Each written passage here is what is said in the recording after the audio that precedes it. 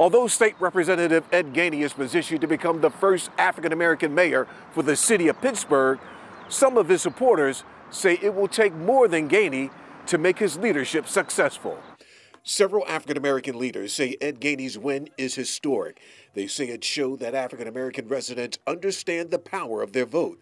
But they also say his win symbolizes the ability to draw all people together for the city to reach its potential. I think he'll be a great mayor, but we got to understand that it's going to take more than one person. Uh, we're looking at major tentacles.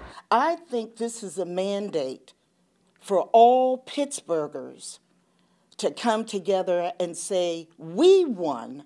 What are we going to do to make Pittsburgh a better place? And while the black vote was significant for Gainey's win, the president of the local NAACP says Gainey transcended all voters, winning the multicultural vote. It was all the people in the Pittsburgh area elected him. And that's what I was excited about.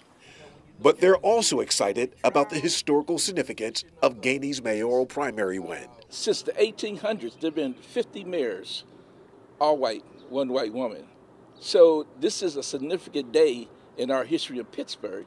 Let us embrace this win and understand what it means.